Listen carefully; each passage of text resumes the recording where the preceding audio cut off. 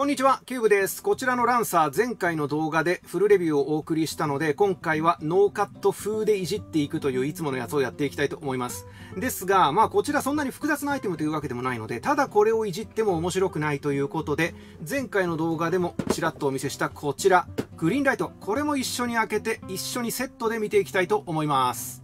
はい。では、並べる前に、こちらを開けていくことにしましょう。ちなみにパッケージ的にはこんな感じですね。実はですね、グリーンライトの方は本当はこういう感じの外箱に入っていて、えー、この感じの箱でグリーンライト開けても中にちゃんとあの箱があったので、こちらのランサーに関しても、あ、バルクは開けてしまっても中にちゃんと箱あるんだなと思い込んでいたので開けてしまったという感じですね。えー、ちなみにこちらはよく見るとですね、ここがですね、えー、ウォーフォーサイバートロンっていう風に WFC と書いてあるんですが、グリーンライト with バトルマスターという風に書きたかったんじゃないかと思うんですが、with のところの t が2個になっていて、一番最後の r が抜けていたりして、かなり派手にスペルミスが起きていますね。これもしかしてスペルミスじゃなくて、本当にこういう表記で正しいっていうことだったのかもしれないんですけど、いや、そんなことはないんじゃないかなと個人的には思いますね。はい。で、中に入っていたのがこちらのパッケージ。えー、あんなものに入った限定販売のアイテムだった割にはパッケージがちゃんとがっちり作られていますね。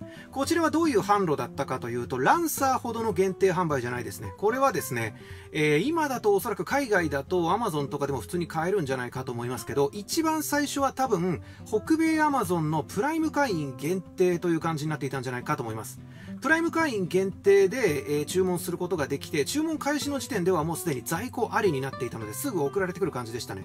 えー、プライム会員になるのって割と難しそうに思えるんですけど、実際には Amazon ってインターフェースがどの国のものも大体同じなので、中学生英語ぐらいのことができれば、全然別に海外でも Amazon 会員になったり外れたりするのは簡単なので、えー、もしこれがですね、予約アイテムだと、えー、完全に届くまでの間プライム会員でいなければいけないとしたら、プライム会員の価格を少し払わないといけないかもしれなかったんですけど、こちらはですね、今言った通り、発売開始即オンセールという感じだったので、えこれが送られてくるまで待って即会員を大会したので、無料30日間体験期間のうちに終わって一切プライム会員の料金は取られませんでした。まあそういう感じだったので、えー、高かったわけでもないですし、こちらは割と普通に買えたっていう方も多いんじゃないですかね。では、早速開けていきましょう。えー、なんというかですね、ジェネレーションズから CG への移り変わりで、2つの間にこう共存している金型のものがあったりとかして、割といろいろ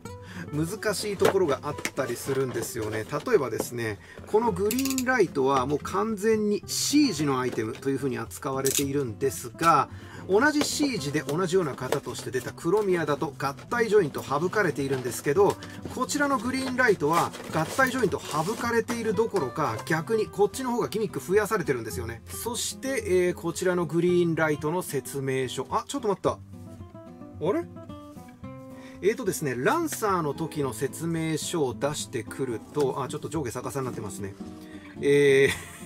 こっちもろグリーンライトの絵のまんまで、グリーンライトのものにここをつけたんじゃないかっていう風に思ってましたが、グリーンライトの説明書を見ると、ライオナイザーが書いてありますね。なので、こっちわざわざ新規で発行したにもかかわらず違うアートを使っているということで、なんていうか、何なんだこれはっていう、ちょっと謎の構成になっていますね。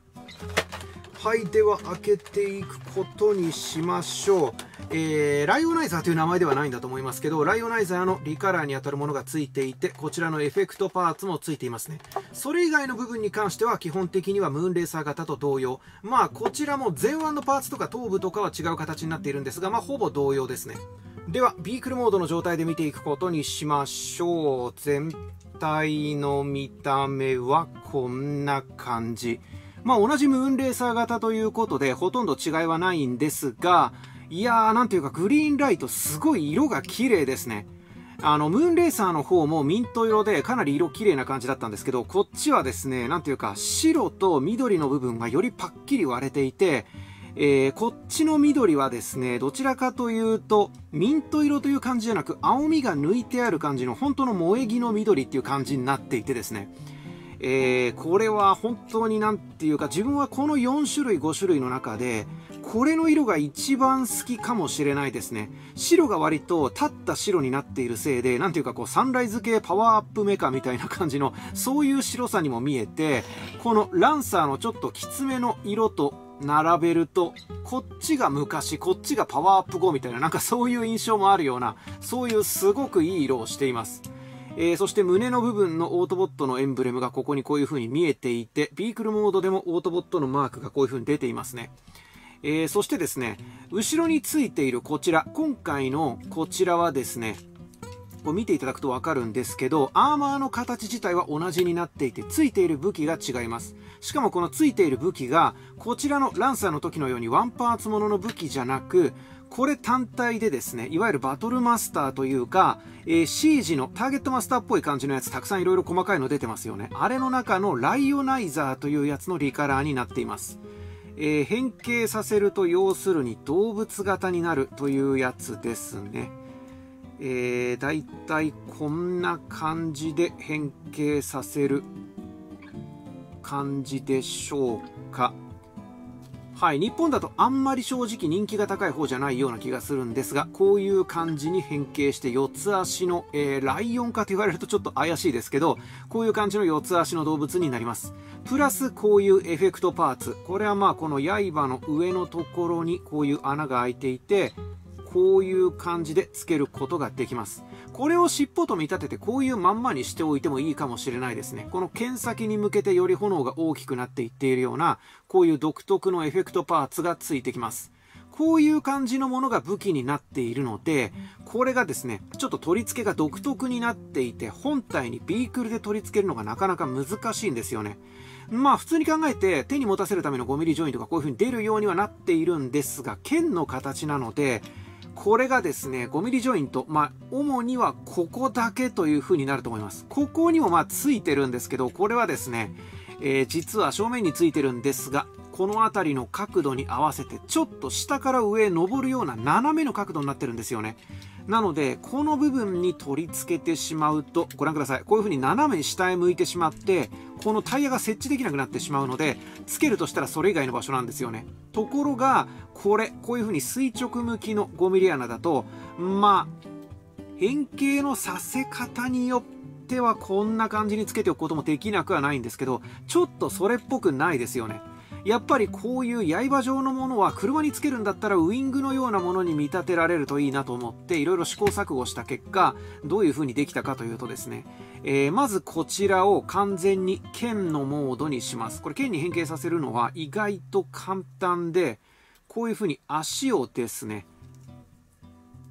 足のパーツのへこんでいる形同士をお互いに組み合わせるようにこういう風に丸めると爪で引っかかってこういう感じに小さくまとまります。この状態で刃を完全に立ててやってあとは首をこういう風に180度反転させると、まあ、これでソードモードなんですけどこの部分がですね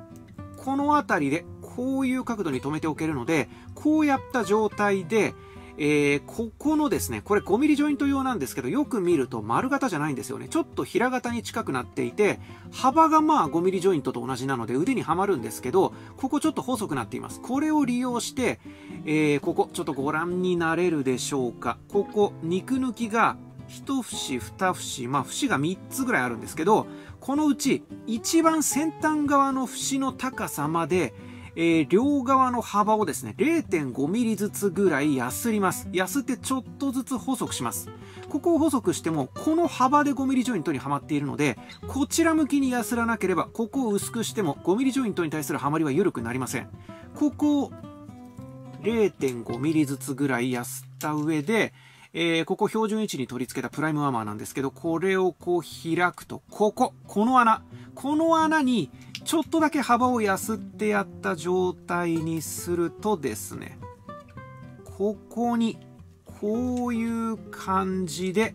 えー、はまるようになります。車のウイングかと言われると甚だ怪しいんですが、ここにですね、さっきのエフェクトパーツをこういう風に取り付けておくと、ちょっとこう、なんて言うんでしょう、アフターバーナーっぽいというかですね、まあ少なくとも左右非対称にならずに、まあ車の見た目にまあまあフィットした感じで付けられるようになります。もっともですね、正規の取り付けではないので、ちょっと太さとかをうまく削りながら調整してやらないと、えー、ちょっとはめた側のパーツに負担がかかったりとか少しあるかもしれないんですが、うまい具合に細さを調整しながら、微調整しながらやってやれば、ここにきちんとはめられるパーツという感じになり、かつ腕にはめるための 5mm ジョイントとしての幅も細くならないので、これなかなかいいんじゃないかと思いますね。自分はこういう風に前後方向に長くなる感じは車として結構かっこいいんじゃないかと思うので、自分はビークルモードではこの取り付けにしています。ですがまあちょっと削ったりするので自己責任ということにはなると思います。それではせっかくこちらを出してきたので今回ロボットへの変形はこちらのグリーンライトでやっていくことにしましょう。まず後ろからこちらを外します。これはもうこのグリップを垂直にしてやればもう完全にソードモードが出来上がった状態ですね。これはこのまま後で使います。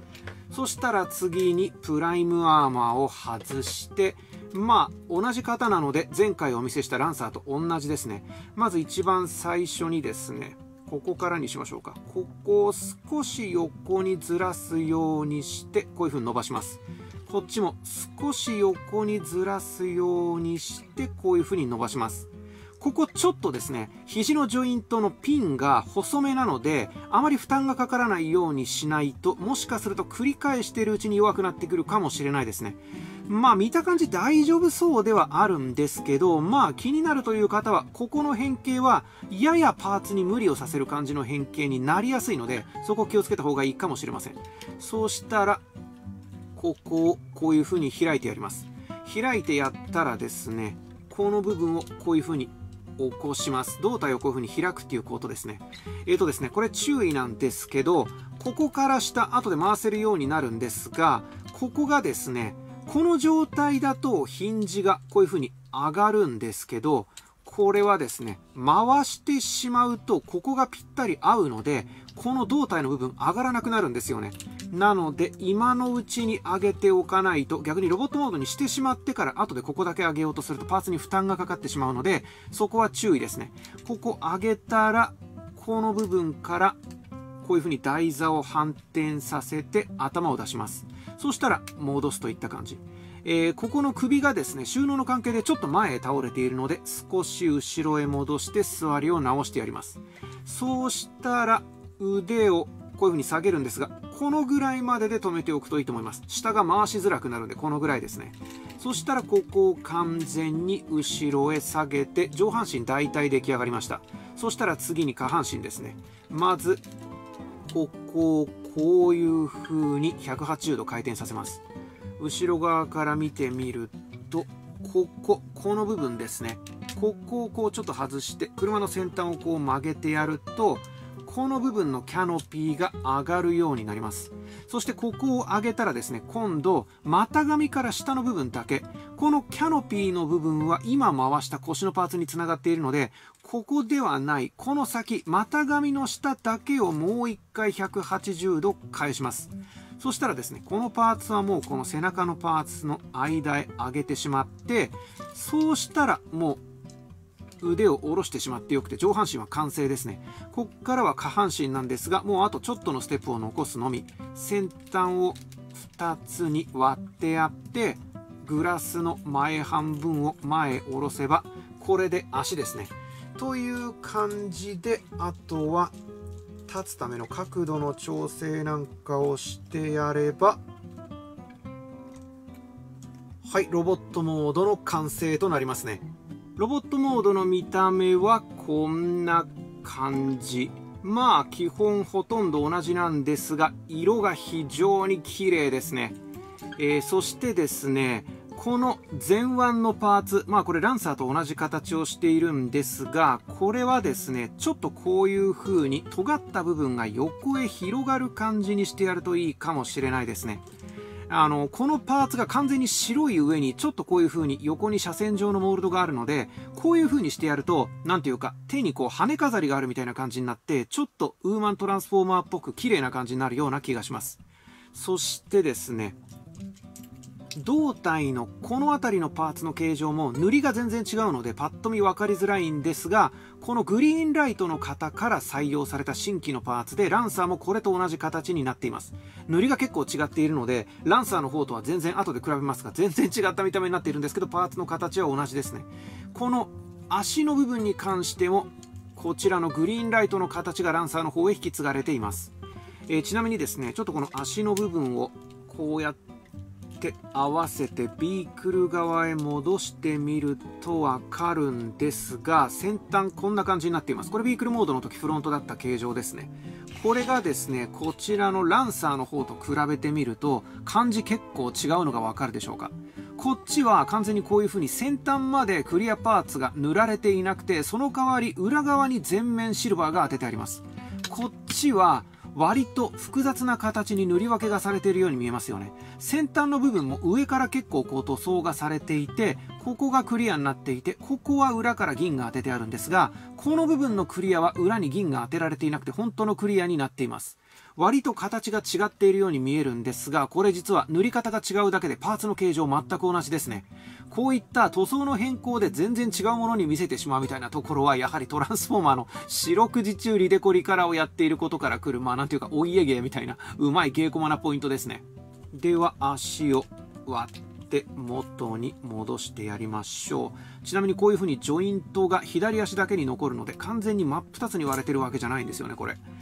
えー、そうしたらですね武器の取り付けという感じになりますかね、えー、武器は先ほど出したこちらのプライムアーマーっぽいもの。まあこれ正規の取り付けをやってみましょうか。こういう風にピンを倒して、えー、ここのこの爪ですね。これをこの胴体の両側の爪にかませるという感じ。このグリーンライト型から採用されたボディによってランサーの時に説明したのと同じですね。胴体の幅にぴっちりあったあんまり浮かない感じのアーマーになります。今回のこのグリーンライトはですねこの胴体の側面が塗りがなくなっているのでここはもう素材色のままなのでパーツをどれだけかませても色はげは起きないです。ここは気楽にできますね。そしてえーとですね、手にも持たせられるんですけど手に持たせる時はナックルガードみたいな感じにせず、えー、このグリーンライトはさっきお見せした通り武器が剣なので割と縦のニュアンスで持たせるようにした方がいいんじゃないでしょうか。こっちにこういう風に縦にしてやるとこっちにこのライオナイザー型の剣を持たせた時に割と剣と盾っていう感じでナイトみたいなこういうニュアンスになって合ってるんじゃないかと思います。ていうかさっきからこれライオナイザー型ライオナイザー型と言ってますけどえー、説明書によるとですね、ダズルストライク、ダズルストライクという名前みたいですね。えー、ダズルストライク、ダズルストライクって前同じ名前のキャラいたかなちょっと似た名前のはいたと思いますけど、ダズルストライクって名前は多分これが初めてのような気がします。違ってたらすいません。まあ、剣立てという感じで割と騎士っぽい見た目になりましたね。えー、頭部が新規造形なんですが、ご覧いただけるでしょうか？なんていうか、ちょっと、えー、魚っぽいというか、まあ、アクアマン的な、アクアマンは別に何も被ってないですけど、こう、アクアマンと一緒に出てくる兵士的なですね、割とこう、魚のヒレ的なニュアンスのあるようなメットになっていますね。えー、この形状は劇中に出てくるこのキャラクターに非常に似ています。え、前回のランサーの動画の時にも説明したんですけど、このグリーンライトとランサーの2つはですね、アルファアトリンを探せに出てきた、えー、何体目？あれ5体目と6体目ってことになるのかな？えー、5体目と6体目ですね。5体目と6体目に登場した、えー、緑とオレンジの、えー、ほとんどセリフがない、名前も登場しないモブキャラウーマントランスフォーマーの、えー、一つずつを再現したもので、グリーンライトっていう名前がついたのはいつ頃でしょうね。ランサーっていう名前は多分かなり最近ついたものだと思いますけど、グリーンライトは、えー、いつのタイミングから名前がついたかわからないんですが、グリーンライトはですね、劇中だと頭部が割としっかり映るシーンがあって、かなりこの形にそっくりになってますね。なので顔の再現度は一応高いと言えると思います。まあ、なんというか、兜っぽくも見えるので、まあ、兜剣盾という感じで、割とこう、クラシカルな感じのファイターっていう風に、えー、見えなくもないので、結構3つ合ってるなという気がします。では、えー、こちらのランサーの方も変形させてみましょう。はいランサーの方も変形させました。並べてみるといかがでしょうか。ほとんど形一緒なんですけど色と何ていうか塗り方がちょっと違っていることで印象結構違っていますね。そしてですね、この2つのキャラ、まあ、どっちにもできることなんですが、えー、ランサーのポーズショットでちょっとお見せしていましたね。えー、このプライムアーマーの取り付けに関して、ウーマンロボということで、正規の取り付けではないんですが、まあ、ちょっと面白い取り付けができるかなというふうに考えたので、それをやってみたいと思います。えー、どういうことかというと端的に言うとですねこのプライムアーマーを後ろのアーマーを下ろしてこの先端につけることで尻尾キャラみたいにできるんですよねえー、ここ、この形は別に、親指のパーツの形は特にどうでもいいんですが、この指をこう出してやって、そしてこのピンをこういう風に立てます。そして、あとは、ここに、こういう風に、まあ、足に合体する時のための、えー、つま先パーツをつけるためのジョイントを出してやって、こういう風につけて、ちょっと角度をつけてやるとですね、まあ、尻尾というほどではないんですけど、こういう感じで後ろへテールが長く伸びた感じになるんですよね。まあ、尻尾がついているからといって、それで別にウーマンっぽいということにはならないと思うんですけど、まあでもメガトロンとかスタースクリームとかコンボイみたいな感じのキャラクターに尻尾がつくことがそれっぽいかというと、それはちょっと似合ってないなと思うので、大体パーソナリティが男性のキャラクターだと、グリムロックみたいな感じの元々がトカゲ系、恐竜系のモチーフだったりしない限りは尻尾ってあんまりありえないと思うんですよね。なので、そういうことから考えると、こういう感じのディティールをつけられるのはウーマンキャラならではかなと思ったりもするので、これもちょっと面白い付け方かもしれません。ことさらこれを紹介したもう一つの理由はですね、こちらのキャラクター、さっきお見せした通り、こっちのグリーンライトはですね、このアーマーに、このソードパーツを長さを足す感じで付けられるんですよね。ここにこういう感じで付けるという風になる上に、この刃の部分もですね、収納の都合でちょっとこういう風に曲げたりできるんですよね。なので、今と同じ取り付け方をしてやるとですね、尻尾相当長い感じになるんですよね。ここにこうつけてやるとですね、あ、ちょっとここやっぱり正規の取り付け方ではないので若干外れやすいですが、はい、こんな感じになって、えー、尻尾だいぶこういう風に長い感じになるんですよね。えー、結構なんていうかこう魚類系の頭をしていたりするので割とこういう感じで後ろにここ長く伸ばして怪獣キャラみたいなキャラ付けで遊んでもいいかもしれません。あるいはちょっとバックヘビーでもともと自立に心もとないところがあると感じる方もいらっしゃると思います。まあ足の裏広いのでそんなに別に不安定ってわけじゃないんですけどポーズによってはやっぱり後ろに行きがちですね。なのでそういう場合ここをこうちょっと広げてやり、尻尾をこういう風に伸ばしてやることで、怪獣っぽい感じのキャラっていうイメージ付けで遊んでみてもいいかもしれませんね。あるいはこういう風に完全に上へ跳ね上げてしまうとですね、この炎エフェクトの先端がちょっとこうフック状の鍵爪のような感じになっているので、サソリのスコーピオンテイルっぽい感じのスコルポノックみたいな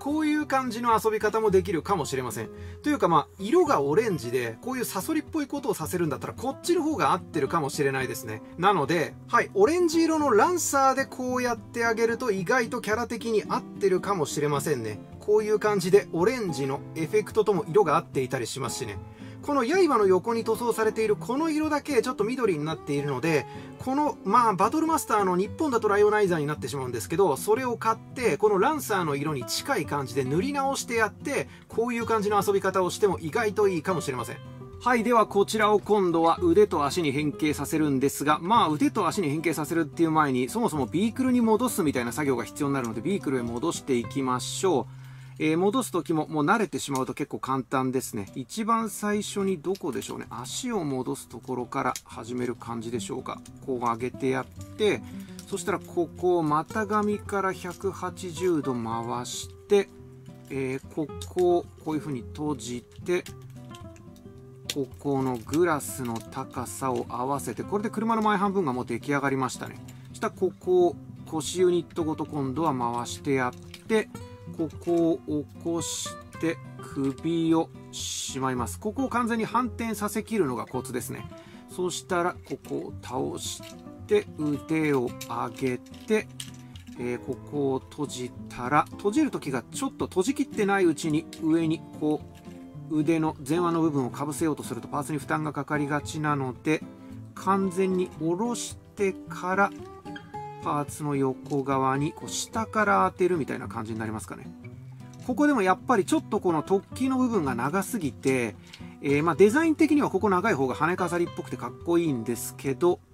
ちょっとこのビークルの定位置にするとき少し負担があるかもしれないですね。えー、そうしたらこれとプライムアーマーここにつけてしまうとちょっと合体形態になれないので単体でこういう風にビークルモードにしたらこの状態からまず腕にするときはもう普通にこここういう風に起こしてやって、これもですね、公式だと何も書いてないのでしょうがないですね。えー、シージの説明書にはシージは合体ギミックがあることに公式ではなってないということなのかもしれないですけど、えー、一応ここにジョイントがあるので同様に、えー、起こしてやってあとは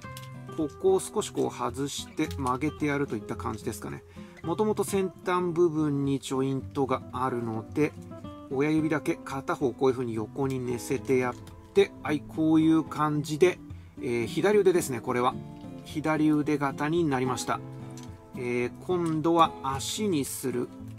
トランスフォーム。足にするときはつま先のパーツがパワーオブザプライムズの仕様だとコアロボ側になるのでここをこういう風に折るだけで、えー、ここにこういうジョイントを起こせるようになっていてつま先を取り付けること自体はできるんですがつま先パーツそのものはコアロボ側についてるんですよね。腕を元の位置に戻してやって合体ジョイント上まで上げきればはいこれで足型に変形しました。つま先ないのでちょっと足型に見えないかもしれないですけど足に合体させるときはこうですね、えー、そうしてですね足に合体させるというかまあここ一回伸ばしてやって、えー、こういう風にして、えー、腕型にまたちょっと戻してやりましょう。それほど変形のステップ数が多くないのですぐサクサクと変えることができますが。はいこういう感じでグリーンライトを左腕にしてやってこの状態で今度はランサーをビークルモードに戻して腕型にしてやりましょう。こっちももう慣れてくるとすぐできますね、えー、こうやってここを戻して、えーつなげてそしたらここをさらに180度ひねって胴体を上げて、えー、首を畳んだら後ろに上げてやってここを閉じてこうですね。こういう感じ、えー、これで単体ビークルになったので腕の部分をこうしてやってその状態から、えー、ここをちょっとだけこうかな。こういう風にしてやって、えー、今度はランサー用の拳。先ほど左手だったので今度はこっちの親指を出してこっちを折り込む感じですね。そして合体ジョイントを出してやればはいこういう感じで左右の腕になりました。腕に合体させるんであればこういう感じですね。これとあとノバスターにムーンレーサーがあれば全ての手足が出来上がるという感じになります。さすがにここからエリータ1を出してきて残りの2体も出してきて合体までやるとちょっと長大な動画になってしまうので それはまた次の機会ということにしたいと思います。というわけで大体2つをこういう風に手変形させながらノーカット風で見ていくとこんな感じになりますね。まあいじった感じというか手触りの感じは大体分かっていただけたんじゃないでしょうか。割と複雑に動かしているようなんですけど慣れてしまうとあっという間にビークルに戻したりロボットにしたりできますね。ステップ数結構あるんですけどね。結構分かりやすくてよくできてると思います。はい。というわけで、前回のランサーのフルレビューを受けて、今回はノーカット風、まあ風でしたね。まあ全然ノーカットではなかったですけども、えー、まあそういう感じで手でいじりながらトークしていくことでタッチ感を分かっていただく動画、えー、せっかくなので同時にグリーンライトも開けていきましたが、今回の動画いかがだったでしょうか？えー、せっかくここまでやって腕足に変形するやり方までお見せしたので、オルティアへの変形合体も一応やってみたいと思います。この次の動画になるかわからないんですけど、えー、まあ、近いうちにちょっと4つ、残り2つも出してきてですね、やってみたいと思いますので、それまで楽しみにお待ちください。それでは次の動画でお会いしましょう。キューブでした。